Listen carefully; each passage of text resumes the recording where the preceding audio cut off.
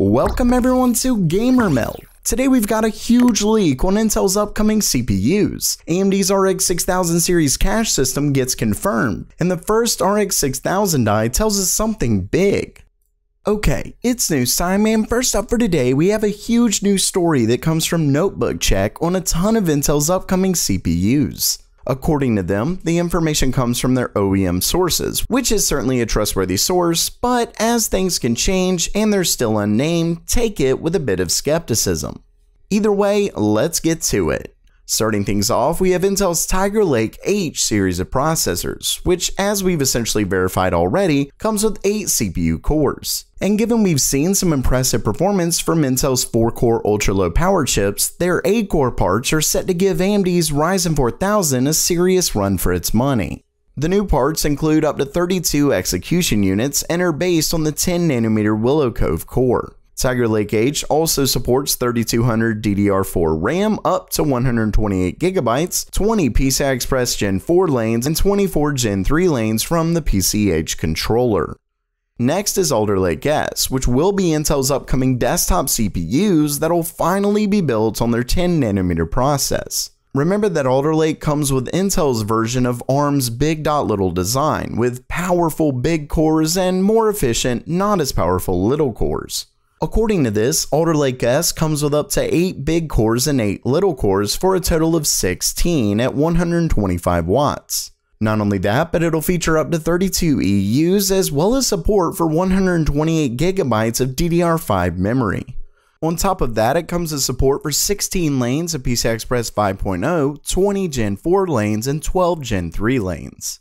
At the end of the day, if Intel can get this out by late next year, AMD could have a tough time competing. Then again, with only 8 big cores on heavily threaded workloads, Intel could have some serious issues. And with AMD set to release their 5nm based Zen 4 around that time, Intel does have a pretty big mountain to climb. Let's just say it's set to be a serious fight.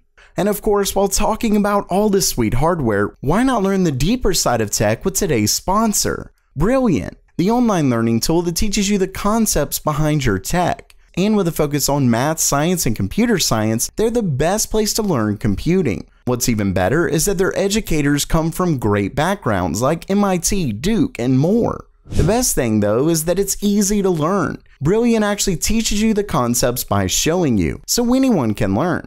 And they've got courses for beginners and experts alike. We're talking from the fundamentals to artificial networks and even quantum computing. So what are you waiting for? Learn the deeper side of hardware at brilliant.org slash gamermeld. And the first 200 people who visit the link get 20% off your annual premium today. Next up for today, if you follow the channel, you know that most of the recent rumors and leak for AMD's upcoming RX 6000 series, or at least their higher end variants, have a really small memory bus relative to their rumored performance. And that's certainly odd, given they're set to still use GDDR6. Remember that Nvidia and Micron basically developed all new memory just to feed the power of their high-end RTX 3000 GPUs, and it seems to be a big cause of it needing that fancy cooler. Basically, if AMD has a hope of competing, the bus width made little sense. That is, until rumors began surfacing of a new cache system with Big Navi. Basically, it would sport a huge amount of cache to compensate for the low memory bandwidth. Well, in a new story by VideoCardz, it looks like they've actually confirmed it. Now, in the most recent rumors, it was called the Infinity Cache, yet VideoCardz states that internally it hasn't been called that, at least until now. Originally found and shared by Momomo underscore US, you can see that AMD recently filed a trademark with Justia for just that name.